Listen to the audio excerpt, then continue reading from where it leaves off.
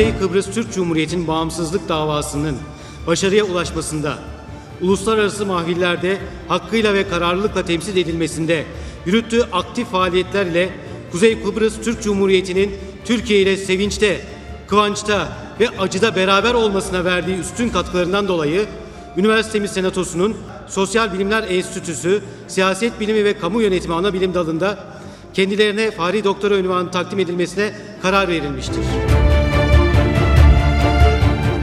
Hayatımın tabii en önemli olanlardan bir tanesi.